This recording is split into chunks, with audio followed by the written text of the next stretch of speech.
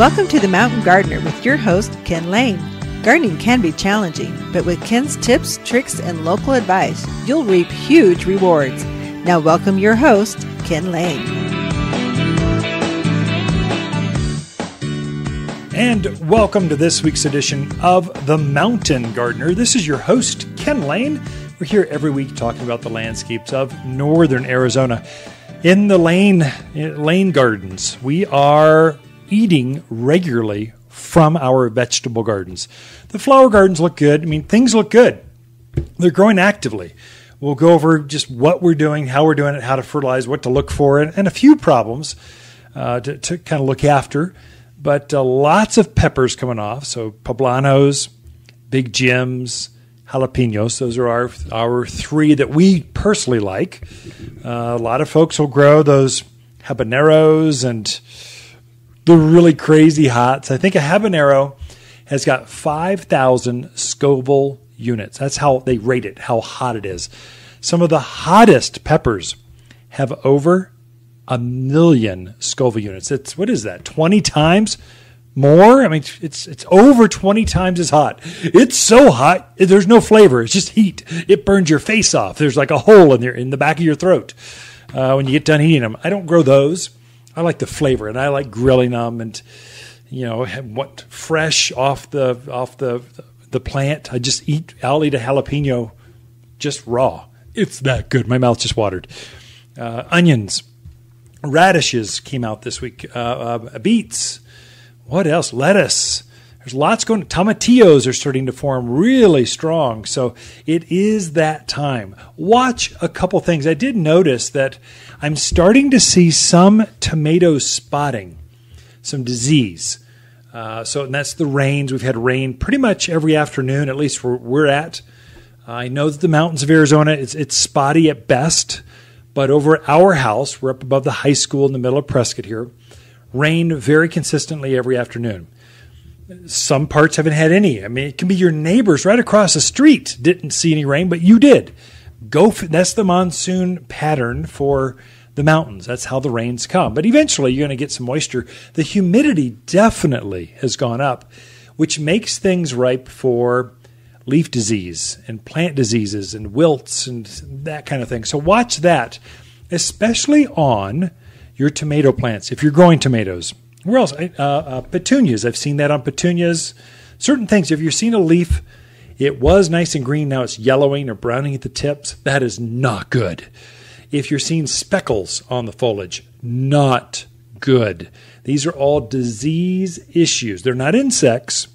There's a bacterial kind of thing feeding on the sugar within the structure of that plant or that flower or that fruit that's causing this spotting, wilting, or, or, or having issues. And it will spread very quickly if you let it go. So for for me, what I do is I'll go out probably a couple times a week when I'm picking the fruits or just I'm just admiring my gardens. I'll walk through with my cup of coffee in the morning. I'll have the dogs with me. We'll just pinch off some of the diseased or damaged leaves. Uh, any fruits that are like that more, but more so you'll see it with the leaves. I just pinch those off. With my tomatoes, I notice it's right at the base.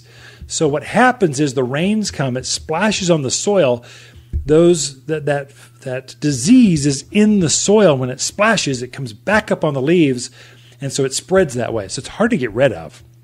That's why you want to rotate your crops every year so you can prevent help prevent. You can't prevent it but you can you can reduce some or mitigate some of the issues. Right now what i'm doing is i'm just keeping my plants pruned up i don't let any leaf i'm looking to pick the bottom leaves off i'm looking to take leaves off and it's okay. You're not going to hurt your plants. They'll grow just as fast. It, it, it's okay. Uh, but I'm looking to pinch off anything that's diseased, spotted, or curled. Uh, Verticillium wilt is a classic. Uh, there's no cure for this disease that gets in, in the plant, gets in the structure of the plant, and now the leaves start to curl up. And once that happens, because there's no cure, you pretty much rip the plant out of the ground and you kind of start over just to keep it from, from spreading to your other plants. I would suggest when you see a few curled leaves, just pick them off real quick. See if you can get ahead of this and don't just throw them down on the ground. Put them, have a trash can with you or a bucket or a garden tote and, and th- throw them away, get them off your property. You don't want that diseased leaf to be there just to come back and haunt you again in, in three weeks because you've had a couple heavy rains. So that that's what I'm looking at. So most of my tomatoes, they don't have many leaves on the on the bottom of them. They've all been picked up. I don't want any leaf growing down and touching the ground. I never let suckers or branches or anything grow towards the ground and touch it. I'm trying to stake things up or cage them up to keep them off the ground. The same would apply for tomatillo because uh, they're related tomatoes, tomatillo, uh, peppers, uh, pretty much any kind of fruiting plant is going to be that way. I mean, not as much watermelons and that kind of stuff. I haven't seen that, but I am definitely noticing disease starting on my tomato plants. So I'm just I'm just pruning them off, and it's okay. They're fruiting like crazy still. They'll just keep growing up. That's that's okay. But just put it on your radar. What I do is when I do see anything with a leaf spot, if I don't find an insect, I'll share one insect I found in my gardens, what to look for. But uh, if I'm seeing just curling, spotting, browning leaves, what I'm doing is I'm cleaning them up. I'll fertilize them so that they push new foliage. That's really easy. Then I'll spritz the whole plant with Revitalize. It's an organic disease control. What it does, it is revitalized. It's, it's a foliar spray. You, you, you spritz it. It's kind of like a trigger sprayer. You kind of spritz the foliage, and then it keeps that disease from getting up, from spreading through that plant. And then it makes the structure of the plant actually more robust. And so if you're seeing it coming from the soil, you can actually you can actually drench the soil. I've done that on a couple plants. But mainly I'm spritzing my foliage right now. I'll do that every 10, 14 days or so just to make sure uh, I'm not going to have anything take out my my crops that I'm harvesting right now. I mean, we're, we've got we're eating well. Uh, I am prevent. I'm doing a preventive strike on my pumpkins and zucchinis. So I always I don't know what this is. It must be my backyard. I'm always getting powdery mildew, and they always get on to my squash kind of plants and pumpkins. So I'm just putting revitalize on those, just going. I know it's coming. The rains are. It's been raining too much. I know it's just a matter of time and I haven't seen powdery mildew on my plants yet. Uh, I know it's coming, but I'm hoping to, to, to again mitigate that or reduce the the effect on it. As I see a leaf, it gets this powdery white coating on it. I'll thin that out, and just kind of a maintenance factor. It's called gardening. It's this is not hard.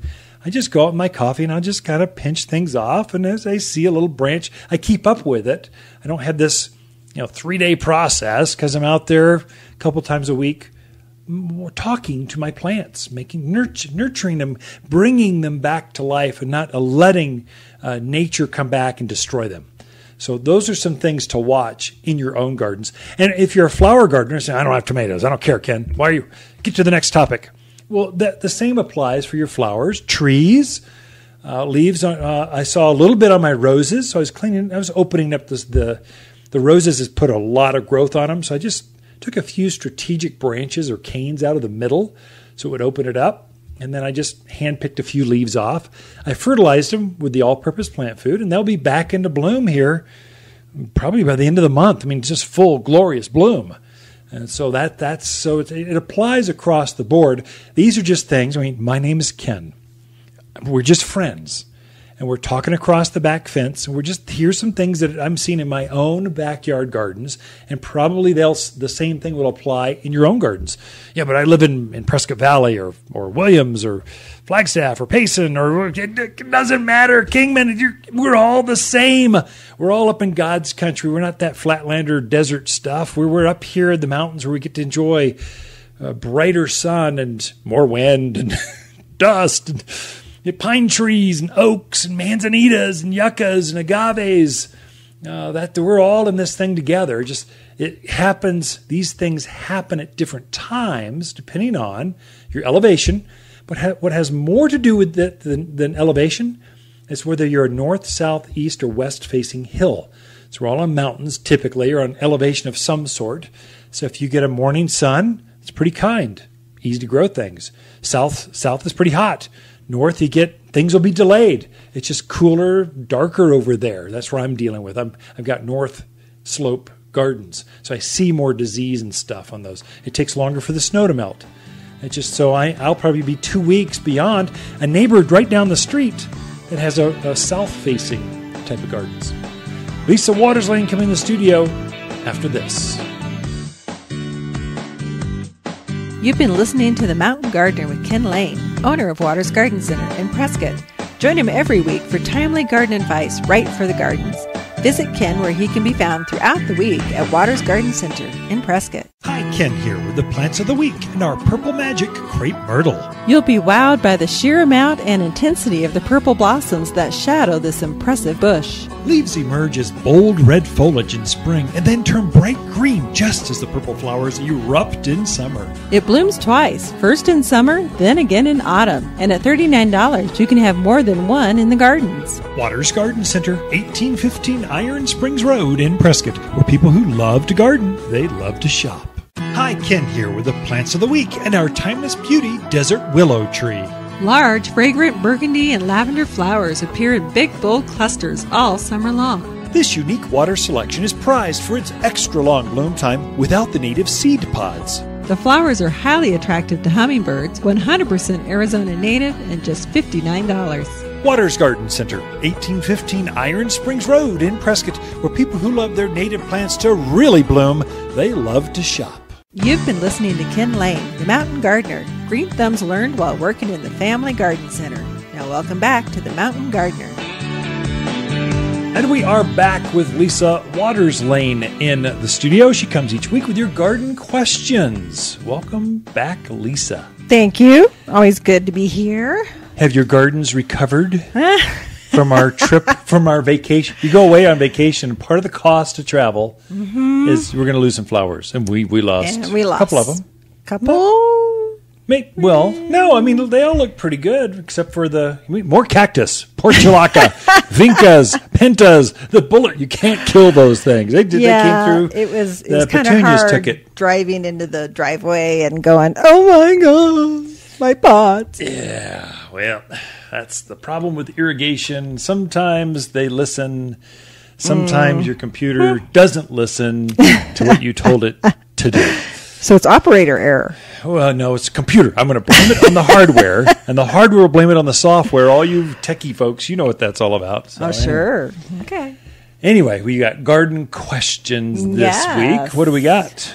Well, Gary would like to know about his mimosa. He has a beautiful mimosa that has always bloomed every year.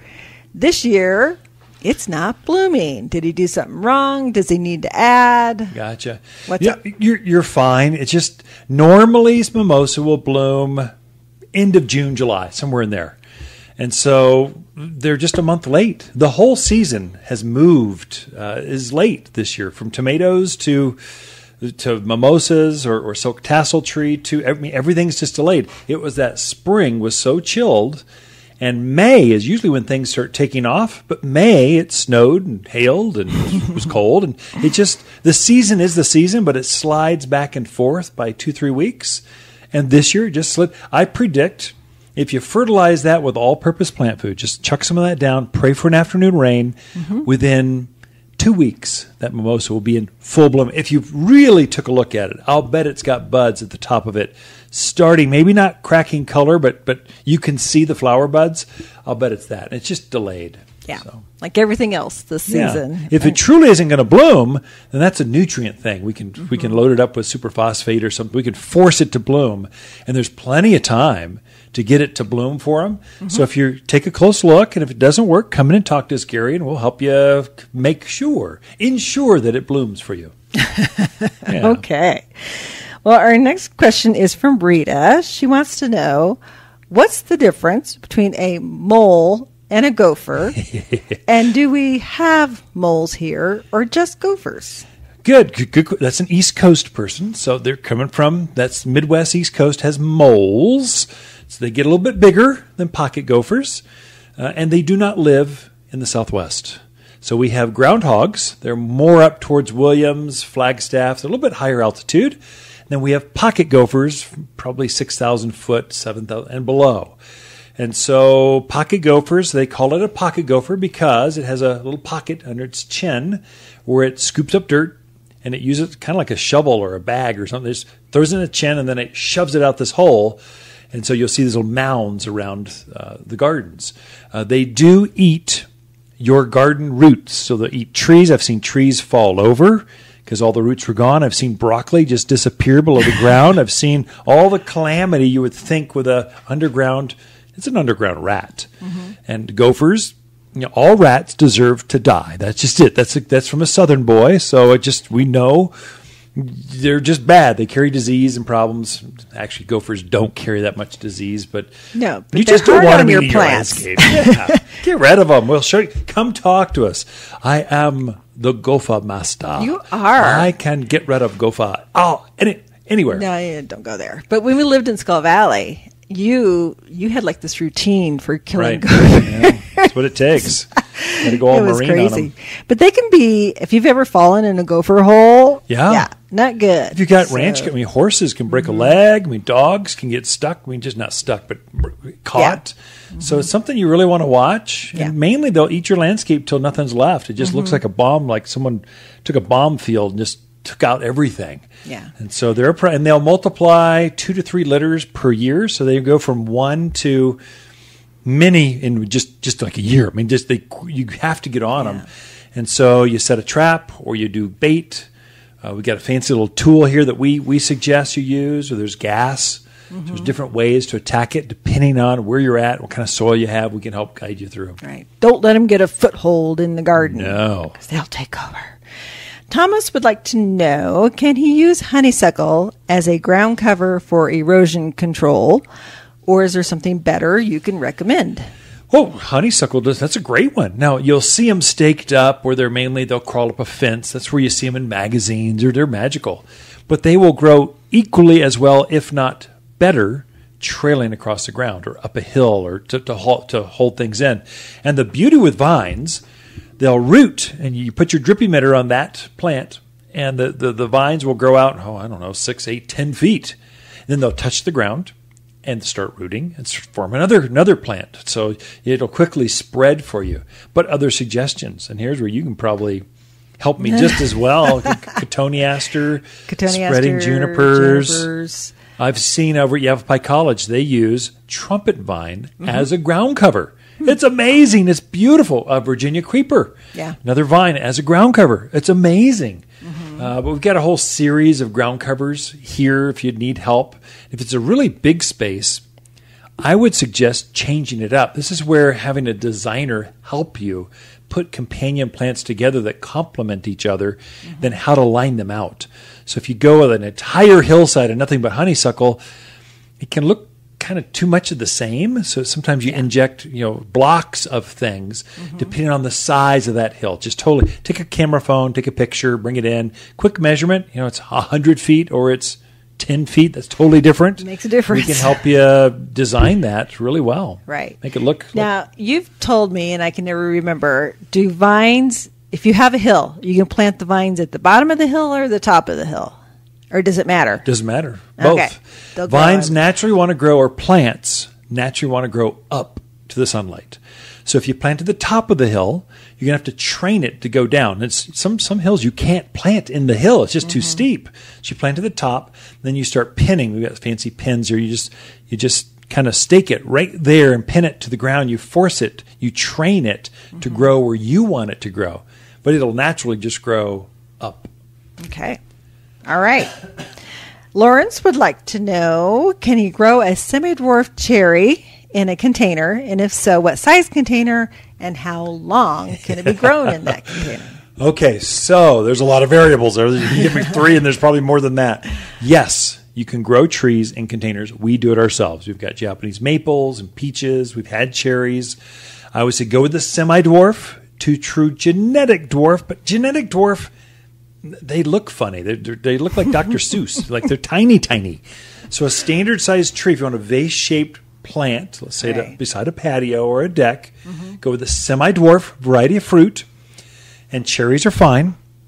Minimum size pot, I would say minimum for a tree would be 20 to 24 inch, probably 24 inch. Mm-hmm. It's all about soil quantity. The deeper, the larger, the wider, the more soil, the longer it can last. We're talking probably I mean, years. You can get years out of a tree in a, in a container. You'll know when it's root bound when you water it, and the water will no longer penetrate the root ball. It's just solid roots all the way through. That'll be years and years down the road. Mm-hmm. And and I would say also another thing with our peach tree. So we had a cherry tree, and we finally just got tired of it and said, "Oh, we want a peach." So we swapped out the container, uh, went with peaches, and summer pruning is so important for containered trees. So we just got done trimming back all the suckers, all the spring growth. Uh, we trimmed it back and shaped it so it didn't get too out of proportion to that pot. Mm-hmm. Do the same thing for our Japanese maples. Just trim it back. I mean, it'll grow above the eaves. I'm going, okay, that looks funny. It, no, no, you're, you're, you're not gonna, you're not in control.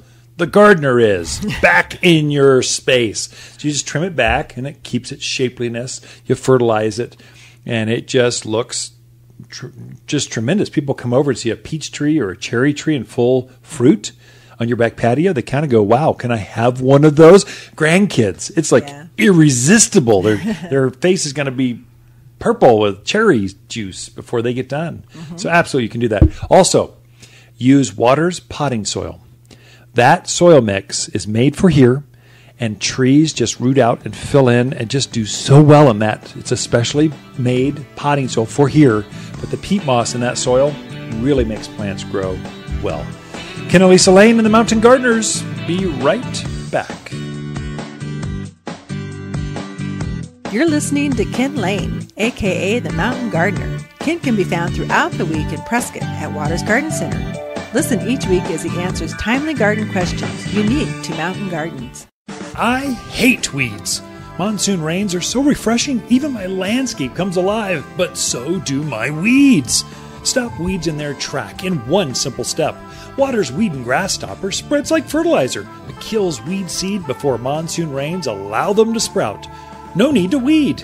It's safe for trees, even flower beds, and so much safer than that toxic waste the big box sells. Weed and Grass Stopper, it's just $24 and only found at Watters Garden Center in Prescott. Ken, with our Vine of the Week and our Arizona Sunset Trumpet Vine. Huge, deep red flowers cluster to create a dramatic summer show. This vigorous vine thrives and blooms with near neglect. Fast growing to cover chain link fence, shade structures, and trellis quick. Easy to train as a ground cover up a rock face to hold soils from erosion, and just $34. Watters Garden Center, 1815 Iron Springs Road in Prescott, where people who love vines that bloom red, they love to shop. You've been listening to The Mountain Gardener with local expert Ken Lane. Join the conversation every week as he answers timely garden questions. Email Ken a question directly from your phone to his desktop through the web at wattersgardencenter.com. That's Watters with two T's, gardencenter.com. Now, welcome back your host, Ken Lane. We love having people over to our house. We love having guests and friends and, and family over. Uh, that's just we've set up our house with big entertainment patios and hot tubs and grills and fire pits, and it's just beautiful. We're overlooking the dells. It's just it's beautiful. It's pleasant to sit out there in the morning sip coffee, or in the evening sip tea. It's just it's just so pleasant. We love having friends over. So this week we're going to have our all of our staff, our staff and their family. Uh, we generally don't have outsiders in. I, have never had a garden club come through my gardens. I've never had. I've been on a tour. This is my private space. I, I don't have many areas that are just mine. Even the front yard, people drive by going, "Hey, kid," and you just start chit chatting. Uh, in the backyard, though, this is our sanctuary. It's our private garden, and it truly is a delight. The dogs love hanging out back there, and we we share that with our our friends and family, and now our employees, our staff members and their families. We'll show them off. We'll show off, tell them why we're rain harvesting this way and why the pond flows here and what we can expect from how we uplight the junipers and the artwork and we'll why we're using uh, this kind of ground cover instead of this. We share our gardening thinking, our philosophy, and why it looks so good. The pressure's on though. I mean, you have a whole bunch of gardeners. these are hardcore plant nerds. They work at a garden center, one of the best in the country, and they're coming over to your house. The pressure's on, I'm telling you. So I, I want to make sure it looks looks really good. So they'll be wowed. And so they'll have some opinions or thought or questions. We'll just, and then we'll have some barbecue, and I'm going to roast my uh, father's special stuffed pepper recipe. So he handed down to me. So we're going to harvest the the gardens and roast peppers on the grill. I'm going to have my grandmother's peach iced tea out, and so it's just going to be a delightful time in the backyard. Uh, that's part of the reason that we're such a great place to work. I mean, we're noted as, I mean, Lisa and I are noted as great bosses because we actually care about our people. We, we, we share everything. I mean, there's an open book. You want to know how much we made, how much we sold, how many units of this, what it costs to do this, why we have a great employee discount. We just treat our staff with respect. We treat them like family. They truly are like family. Uh, so if, if, you're doing something wrong, we'll call you on it.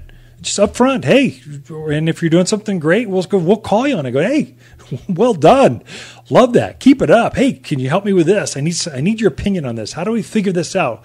Help us with this. And so, um, I'm actually looking forward to Thursday having the staff over to the house. It sh- should be fun. So I have a couple things. We, we went on vacation. Was that two weeks ago? And I had a couple deaths. So I'm going to have to freshen up the pots a little bit. But other than that, things look good. My petunias are yellowing just a touch. They're blooming like crazy. I need to refertilize. They've the foliage is getting yellow in spots. So I need to kind of make sure they're green before. Uh, and I think I can do that. Here's a secret too.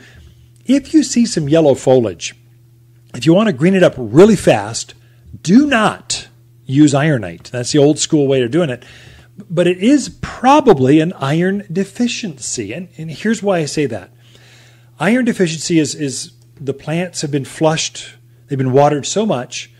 Uh, the nutrients get locked up in the soil or it flushed out all the nutrients and it's lacking really lots of minerals. And the main mineral is iron. And so iron is yellowing to the foliage. It's very easy to give it some iron, and you'll see iron at any garden center, any box store, any warehouse uh, hardware store, they're all going to have iron out. It's going to be in capped because this is the time of year when you sell it. Here's what you want to look for you want the bag to say quick release or chelated, C H E L A T E, chelated. Chelated iron means available right now. I mean, the plant, it's usually liquid form, not always. Sometimes it's in a granular form. We've got both here at the Garden Center. Uh, we've got actually three different quick release irons. We don't sell a slow release iron, which is what ironite is. It just you're you're putting iron on ironite on now for next year's use, really. Uh, here you want something faster. You need to react now. And so you'll put a chelated iron on or a liquid iron, and you'll see that plant literally green up within days. I mean, it is amazing to watch. Kind of fun. And it just takes it right up, takes it through the root structure, and just right into the structure of the plant and greens it right up keep on it. I did notice one, two of my plants. I have a pansy that, that survived the summer. It was looking good. All of a sudden it went yellow on me. Let me tell you why. And then my tomatillo uh, vegetable started to yellow. It was not an iron deficiency. I got to looking at this and it was spider mites. Spider mites, there was a little bit of webbing on the pansy, but none on the tomatillo. I didn't see it, but they had both of the same insect. But there's a spider web. It's called spider. It's called spider mite. Had uh, it's got a spider web to it, but little tiny thousands of insects get on the plant and they scrape the foliage, the, the flesh off of the leaves, and so they started to get this thinned yellowing look. So the, the symptom was yellowing, going, what the heck went on? A week ago they looked great. Now they don't. I sprayed them with some triple action, which is a spider, it's a mite control, and they're looking better already. It'll probably take them a couple weeks to recover, but they're starting to, to rebound. Uh, but that, that's a couple things to look at in your own gardens. Mountain Gardener, your source for timely garden advice right for higher elevations, guaranteed to make a difference in your yard this season. Hi Watters with this week's Plant of the Week and our black satin blackberries. A thornless, milky smooth blackberry that loves the Arizona sun and produces the most deliciously sweet, deep blackberries. Soft pink flowers cover the nimble canes and then yield hordes of the most delicious, juicy blackberries a gardener could hope for. Ready to plant in just $19 and only found at Watters Garden Center, 1815 Iron Springs Road in Prescott. Where people who love to grow the sweetest berries love to shop. Hi, Watters with the plants of the week and our black lace elderberry. Tense purple foliage is finely cut for a dramatic effect. Creamy pink flowers contrast nicely with the purple leaves. The red berries are edible and make delicious elderberry wine, jams, or just left on the bush to attract birds. A dramatic accent are planted as a trouble free head high hedge and just $17. Watters Garden Center, 1815 Iron Springs Road in Prescott, where people who love their elderberries, they love to shop. You're listening to The Mountain Gardener with local expert Ken Lane. Mountain gardening is very rewarding, with a few Ken's tips, tricks, and garden shortcuts sure to turn your thumbs even greener. Now, welcome back to The Mountain Gardener. And we are back with Lisa Watters Lane in the studio for you. She comes and just shares her garden expertise, her garden thoughts, what's going on in her gardens and just shares that so you get a different perspective. If you talk to 10 different gardeners, you're bound to get at least 12 different ideas. So just on any given subject, because it's exciting mm-hmm. uh, to, to see how gardens come together. No one way to garden is right. It's whatever's right for you. And so, no, Lisa, my way is right. No, my way is right. That's why you make such a good team. You are an go. independent gal. That's what yes, I love about you. I was raised to be an independent woman. And you are. Yeah. So are our girls. Three daughters, and actually, all four kids are oh, yeah. very independent. I mean, surprise, it, like it stuns some people where they're going, wow, they can go off across the country, across the world on their own. Going, yeah, they've been doing that since they were like 12. So yeah, we're flying our kids back to visit grandparents when they were mm-hmm. 10, 8 on airplanes by themselves. This pre 9 11. We're dating ourselves a little bit. But, That's true. But yeah, absolutely. They did. We used to send them to uh, Haiti. Where else have they been? Thailand. Yeah, they've been. They've been more places than they have. That's irritating. Yes, it is irritating. Of course, they've also been nasty, nasty places. So oh, they've, they've been, been nice places too, all yeah. over Europe and. Our yeah. oldest, well, one of the twins just got back from Greenland. I mean, it's yeah. yeah. So, garden ideas. Oh, You're sharing okay. that. Enough about our kids. Well, what? actually, it ties in. Really? I'm going to tie okay. these two topics together. Okay. So, travel. We love to travel. Yeah. In fact, we just got back. And as you mentioned before, when we got back, we looked at our pots, or I looked at our pots and started crying because uh, the irrigation system didn't go off.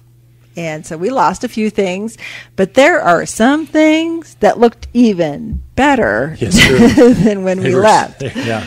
So uh, I thought I would talk about those things that if you're a traveler, if you're a lazy gardener, if you forget to water sometimes, these are plants that they're okay with that. Thrive on neglect. Yes. And broken irrigation and forgetfulness and just Yep, that's yeah, great. Just keep going. So I thought I'd start with annuals first. well, I thought you'd we, start with cactus. Yeah, well, succulents. So yep. annuals, those things that have one season and then they're gone once we get cold. Yep. So the things that survived in our yard that looked beautiful when we got back was the annual vinca, mm-hmm. uh, which is just a great plant. It's deadheads itself. It's crazy drought hardy, pretty green leaves, bright color flowers. I love that plant.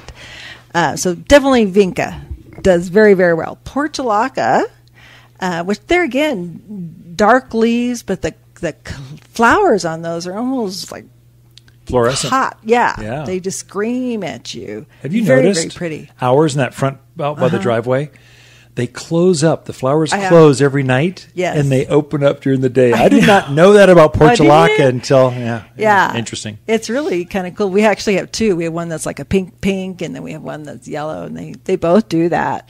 So those did very well. Anything in the succulent family. Uh, so we had some uh, dragon's blood and uh, Angelina.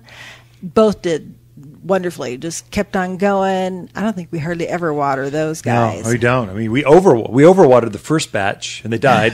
Replaced them. We neglected them. And they thrive. Mm-hmm. so figure. the one that surprised me actually was the Mandevilla vine.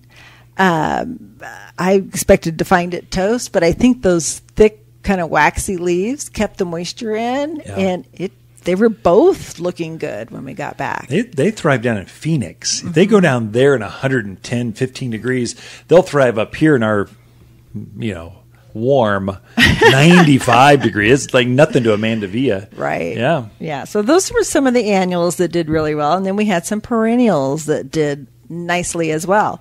The the coneflower, the echinacea, um, it. I don't think. I don't think we even have that on irrigation. No, do we don't. No, it just Yeah. came up by itself. and I've been nurturing it ever since. It's a wildflower, truly Yeah. a wildflower. It's just tough as nails, and I love the new colors they're coming out with. There's um, sombrero hot coral, which is a real pretty orangey pink one. Uh, there's a uh, powwow wild berry, bright red. There's a tomato soup. Let me guess, red. Uh, they're kind of coming out with double flower ones. So instead of having like instead of like a daisy type flower, it's more of a double flower. Very very pretty. There's a pink one out there that's absolutely gorgeous. Flower maybe mm, 18 inches tall. Fla- the, the the plant is 18 inches tall. The flower is maybe four inches, five inches across. Mm-hmm. Right. Cone shaped, thus cone mm-hmm. flower is its common name. But but yeah, echinacea is its botanical or Latin name. Right. Yeah. And a great butterfly attractor. Mm-hmm. So good for bringing pollinators into the yard. Black eyed Susan or Rudbeckia. It's another wildflower type plant that, boy, is it tough. You never have just one. You're going to have, have multiples because they'll they'll reseed and come up other places. Mm-hmm. Which is Uh, Mexican great. Mm-hmm. primrose that's spread out uh, throughout the backyard. Yeah. the same way, kind of very and there's similar. a little daisy out there that we have. Yeah, Is it an made- aster? I didn't plant it. It just kind of showed itself. up. And And if you're pretty, I encourage you to grow and show off in the yard. And if you're ugly, be careful. You're gone. about to be gone. Yeah. daylilies. Um, I think daylilies had their time in the sun where there were like daylily clubs and blah blah blah, and then they kind of went out of favor. But daylilies are a great little plant for the yard, and they're again they've come up with more than just the yellow daylily. You know, they, Stella de Oro. yeah. So they've got the purple d'Oro, which does the same thing, repeat bloomer, which Mm-hmm. we want in a daylily. Uh, they have a ruby stella, which is kind of a Oh, real neat. dark uh, fuchsia. I think it's supposed to be red, but I think it's fuchsia. Uh, Endlessly Coral is another one that we've gotten this year that's new. Really, really pretty out there in the yard. And those guys are tough and they're mostly animal resistant, I believe, aren't All they? daylilies are, are animals. Yeah. Javelina, deer. They're, they're not going to bother daylilies. Yeah. There's proof. I mean, just they're right there and they can eat them and they don't. so. Uh, another one, of course, we can't forget the Russian sage. Those those will survive a nuclear holocaust. I'm pretty sure. but they just you can ignore them, especially if they've been in a year or so. Just ignore them. don't water them, and they're or they'll get yeah. They'll actually bloom better if you don't water them. Fertilize them, bring the color out, but Mm-hmm. Right. don't water them. They'll just take whatever rain comes, and they will do really well. Yeah, Gaura is that way too. I Yeah. have found uh, we have a couple patches of Gaura that I know there's no irrigation to them and hasn't been for a couple of years, and I keep thinking, oh, they're not going to come back. Yeah. but they do. And Yeah. they have the white ones. They come in pink. They come in a dark pink. Some are tall. Some are a little shorter. Uh, but a great addition out there into the yard. And then also, we kind of mentioned sedums, but um, we have one out there in a pot that has a mixture of I think three different succulents Yeah. in it, just three different Yeah. sedums. It is really cool. In fact, we just took it and just plopped it right into a container. Got rid of the plastic pot and Yep. plopped it into a nice ceramic. Beautiful, absolutely beautiful. And those will actually winter over nicely for you. And you'll have that color even in the wintertime. The dragon's blood and the Angelina is like a lime green, kind of drapes over, really, really pretty. And I just love the fact that they keep that color almost year round. Yeah, and a bright, pretty fluorescent flower, mainly in mm-hmm. spring. So it's an evergreen perennial. This is important for your Southern Cal, Phoenix, Tu- Tucson folks. The, there's a lot of annuals, uh, sedums, so they'll they won't go through Oh, the yeah. winter. These are varieties that will winter over for us. They're the hardiest of all the sedums uh, uh, or succulents. Uh, they don't have thorns, but they just spread. They get this real chubby, leafy. They retain a lot of moisture within their their foliage, and so that's what makes them so tough. Yeah. Santolina, uh, the last one I mentioned would be the Santolina. I like it because it has a really pretty gray tone to it. So it, it's nice contrast out in the yard. And there again, you could ignore called it. lavender cotton, right? cotton, Santolina? lavender cotton. Yeah. Yeah. One of the, they got two names. It so does. we've got them, and all these you can find at the garden centers Oh, yeah. right now. Uh, you could plant them right now, and they'll Sure. thrive in the summer sun. And these are things that you can, if you if you think you've got brown thumbs, just make the list, replay the podcast, come, come talk to us. We'll we'll show you the list, and you cannot kill these unless you care for them too, Too much. You overwater them or something. Those are great suggestions. Whether you vacation, travel, or just want things that are tough because you want to work less and have more beauty with less work, there's the list for you. Lisa Watters Lane in the studio. Be right back with Ken and Lisa Lane and the Mountain Gardeners. Look for more tips, tricks, and garden shortcuts through Ken's website. Podcast the show, read his weekly garden column, or follow him on Facebook and Instagram at wattersgardencenter.com. That's Watters with two T's, gardencenter.com. High Watters with the plants of the week and our local chaste tree. Fragrant lilac blooms cover this tree that can also be pruned into a tall bush and blooms all summer long. No special skills needed for this bloomer. Easy to grow, heat loving, low water user, and disease free. These are really nice bushes for $39. We also have very tall trees in bloom for an impressive $120. Watters Garden Center, 1815 Iron Springs Road in Prescott, where people who love local blooming trees, they love to shop. Hi, Lisa here with the plants of the week and our little Janie Gaura. Little Janie is a charmer with flowers that float above this 15 inch plant. The fluorescent pink flowers will wow the hummingbirds with Janie's charm as well. Hummingbirds throughout the neighborhood will visit your plants. They're just so popular and only $14. She thrives in hot, dry gardens and only found at Watters Garden Center, 1815 Iron Springs Road in Prescott. Where people who love their native plants to be beautiful and hassle free, they love to shop. Welcome to the Mountain Gardener with Ken Lane. Gardening in the mountains is different. Listen to Ken's tips, tricks, and garden shortcuts guaranteed to make your gardens more beautiful than ever this year. Now, for better advice that works locally, welcome your host, Ken Lane. One of the plants that is really shining, and it always happens every summer through fall, there's a certain type of plant that outshines all others. Now, right now, the crepe myrtles are in bloom. They're midsummer type rock stars. A rose of Sharon. They are unbelievable this year. How many flowers, the hibiscus shaped flowers, are on these, these plants. But from this point forward, you'll find that your decorative grasses or ornamental grasses, not turf, we're not talking mowing, we're not any of that. It's you use these like a shrub, and then you treat you put them on the same drip system as your trees, and you you kind of abuse them. You you don't hardly think about them, and then they just start growing up. These soft fronds coming up, start to plume. Uh, they're just easy, easy to grow. They're they're typically very deep rooted and very fibrous root structure, very much like a palm tree, which makes them very robust. So the mountains of Arizona are famous for our decorative grasses. And probably the number one grass you'll find at, at any elevation, anywhere in the state, uh, we've got, I mean, Prescott Valley, you all are famous, all the way up to Paulden and Skull Valley, all the way, and keep going.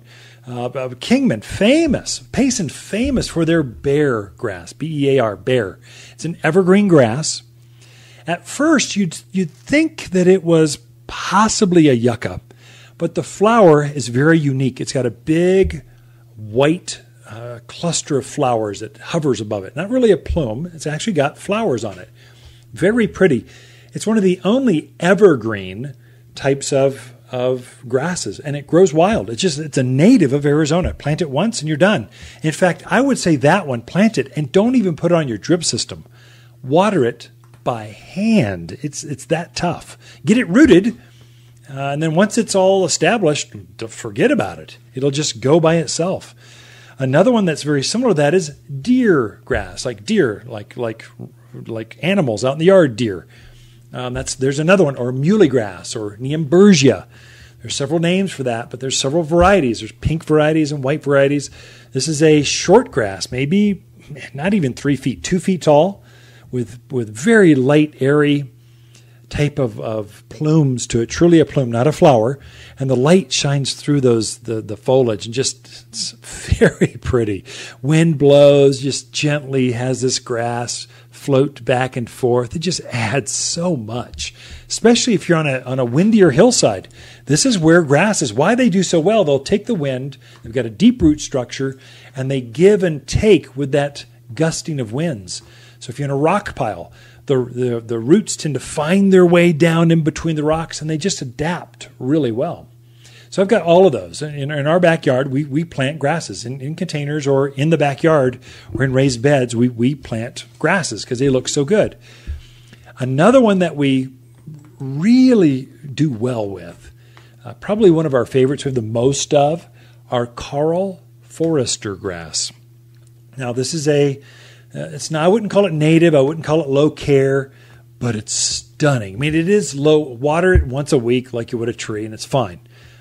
And but the plumes on this thing, it starts early, like April, and then it keeps blooming through the end of the year. It's amazing how good this thing looks for how long. Very dark, rich green foliage. The reason that we have so many Karl Foerster grasses, it only gets three three feet tall, maybe straight up and down. Doesn't get mangy, doesn't fall over, just straight up and down. Uh, we like them because they're pretty. We usually will plant them in triangular, you know, odd number shapes. So triangular, three in a three in a cluster. Uh, but the dogs, we've got dogs. We love our dogs. You got to take care of your dogs, right? If you have cats, I'm sure the same way. The cats would love to digest this rich green. It's almost like having a wheatgrass smoothie every morning. It's very healthy for you. Well, dogs know this about Karl Foerster grass. Now, if you've got a bunch of deer and javelina roaming through your yard, I don't know if I'd put that one right out there. But if it's in the backyard where it's protected, where ours is, um, go at it. Just pretty. Dogs like it. Birds use it for nesting. It's just a great ornamental grass. It, and it's a perennial. It comes back every year. You can count on this, and it gets even bigger and bigger and bigger. Um, Mexican feathergrass be a little weedy, kind of invasive, but very tough. So very lacy, short, kind of just above ankle high, maybe between ankle and knee high, somewhere there, foot 18 inches tall. Tough little grass. Grasses do really, really well. Of course, the most famous of all grasses, the one that your grandparents grew and your great grandparents grew, that would be pampas grass. I do not grow that one myself. The thing is a beast. I mean, children, dogs have been lost in pampas grass. These things are, I mean, 10 feet tall by 12 feet wide, big, huge, arching uh, blades coming out, but they do have that ginormous white plume. White or red or pink uh, is kind of what they come in. Now, the white one, there is a new variety that's been dwarfed. We figured out how to dwarf an actual pampas grass so it doesn't get as big. Uh, they can get so large they almost make your house look puny. And you don't want plants that do that. You, your plants should accentuate the beauty of your house, the architecture, the flow, the feng shui, the, the entertainment, the privacy. There's a lot to, it. There's a design element uh, to, to your landscape that enhances your backyard or front yard appearance, how you enjoy your house. Um, pampas grass for many of your smaller lots is just too big. It gets so large. I mean, a 12 foot grass in your front yard is way above the eaves, and so it can be too too big. There, that's where it's better to go with uh, Japanese striped grass, zebra grass. I've got both of those. They're beautiful. It's, it's like a it's like a really dwarfed pampas grass, much shorter, probably only three feet tall instead of 12 so it's, it's a third the size, a quarter the size, but the blades are, are thick and green, and then they have a stripe either up and down, Japanese striped grass, or across, like zebra grass. They're very pretty. The plumes aren't quite as, I plant those for the foliage, the actual blades of grass are very interesting. I mean, you look at it and go, what the heck is that? That's cool. Oh, man. And then when it plumes, it's kind of a bonus, but it's not as pretty as the Karl Foerster grass actually has a prettier bloom to it uh, than the others. But and then you get into the really dwarfed stuff, the tiny things. Your blue fescues. That's a great uh, grama grass. It's a native, just grows wild.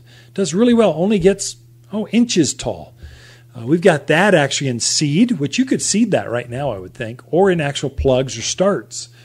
generally, right now, this is a good time to head to your garden center and take a look because most of the grasses are they're up. They're in. They're they're looking their best. This is when they become rock stars. In the spring, they don't look as good. They're just starting to emerge. They've got a little bit of growth to them, but they aren't as pretty as Gaillardia in full bloom. Oh my God, lilacs, the fragrance. Oh my God, those those sell. We can't keep them in stock. The grasses, more the designers, landscapers, folks that have know what they can do. They'll plug them in. Right now, we'll sell more of the grasses because they look so good and less of the lilacs, less of the, the other stuff, the spring bloomers, because they're done. They're just green shrubs in a bucket. But a, a, a, a bare grass with its rigid stalk, I mean, stalks and it's going into bloom, that's just pretty.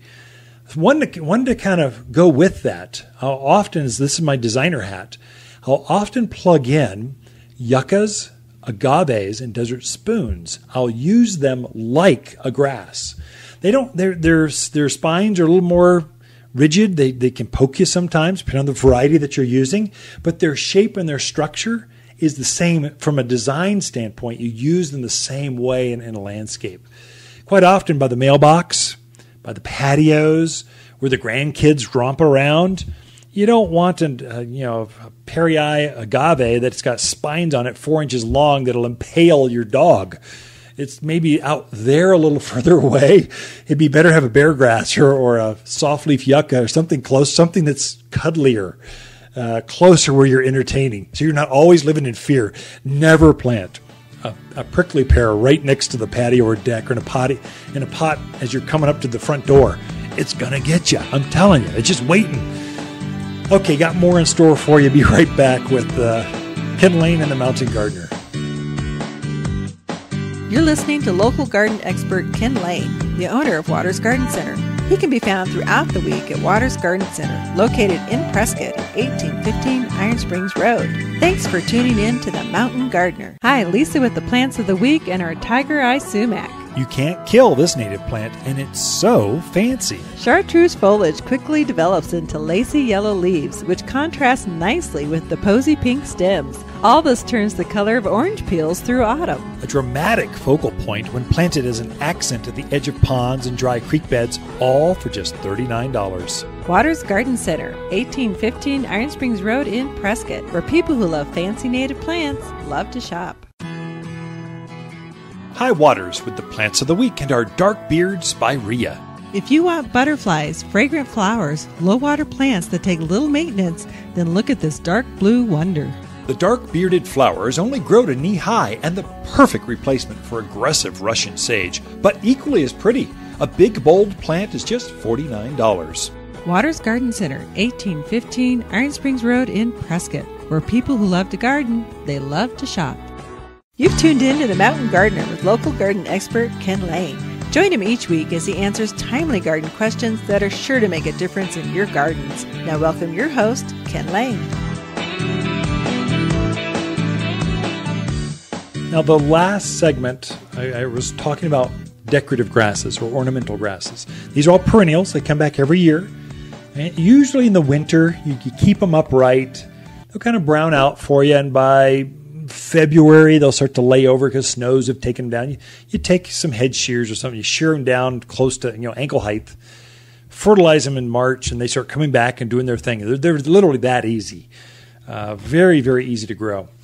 Low care. If your pampas grass, if your Karl Foerster grass, your zebra grass, little bunny, whatever kind of grass you have, if you're noticing that your friends, your neighbors, uh, you remember last year they were prettier, but they just didn't perform as well lately, uh, that's almost always a nutrient thing. Now, these are very fast growing plants, are very large. Uh, they're putting out a lot of, of growth for a small plant, so lots of, uh, of blades of grass coming out. They tend to be heavy feeders, heavier than, let's say, a cactus or a desert willow or some of these things. They're just kind of easy if it's not pluming the way that you want, more than likely it's going to come down to a food issue. And there's still plenty of time to bump up the nutrients and have your plants really perform. This is for anything, but but especially grasses. I hear this quite often as we get into, let's say, October, and everyone's pampas grass looks like glorious, and then yours looks wispy and thin, and the, the plumes are kind of laying over. They get bent in the wind. They're just weak. They're emaciated. You can tell that's always a food issue. I mean, almost. It could be gophers or something weird. Your neighbor ran over it with a truck. But more than likely, it's going to be a food issue. Simply give it some all purpose plant food, that 744 food. It's got phosphorus in it, but mainly the cottonseed meal in that food. Cottonseed meal brings out the color and it brings out the, the, the flower piece of that plant. And so it needs quite a bit of that. I'd put that on around the drip line, which grass is kind of weird. Where is the drip line on a grass? Trees are easy. The trunk, from the trunk to the outer branch, that's considered the drip line, or when the rain comes, and where is it going to drip on underneath the root structure? That's where you want to focus your food. Well, grasses, you don't really throw it in the middle of the grass. That's obviously the drip line, but you kind of put it around the edges of the grass. This is really important for agaves, yuccas, things that uh, bear grass that have kind of structures that bring all the food and all the water to the heart of the plant. Well, there you want to be a little careful and strategically with your hand to kind of sprinkle it around the outer edge of that plant, and you get better uptake, and you're less likely to burn the heart of the plant. Just kind of, it's kind of school of hard knocks. I'm telling you, my name's Ken. We're just friends, and I have blundered in a big way this way. This, I don't want you to make that kind of mistake. So, I think now I started out the program with bugs. I think next week I'll go deep into insects and bugs, what to look for. Uh, so, so, we're starting to be really active. If you happen to have something funky going on, bring it into the garden center. We've got this high powered microscope. We'll show you what's going on with your plant. And then we've got garden classes every Saturday. So this weekend it was the secret garden, privacy screens. Next week we go into bugs, the good bugs, butterflies, bees, and hummingbirds, how to draw more of those in. Herbal gardens, we've got a pro coming and sharing herbs and how to use them. Edible landscapes uh, with trees and berries are August 31st. So every Saturday at 9.30, it's a free garden class. Take a look at that. It's at wattersgardencenter.com. There, there, you'll see a classes button right there at the front page or Facebook under uh, Watters Garden Center events. You Facebook folks, you know what to do with. Twitter, there's less of you out there. I mean, we'll tweet, tweet them through our tweet page. I don't know.